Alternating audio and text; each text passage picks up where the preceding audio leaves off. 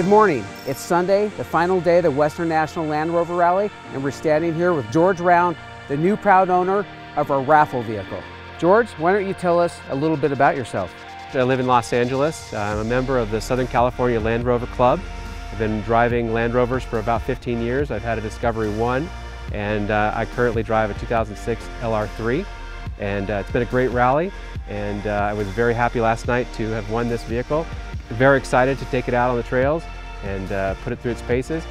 Big thanks to all the sponsors for the rally and for the, uh, the vehicle.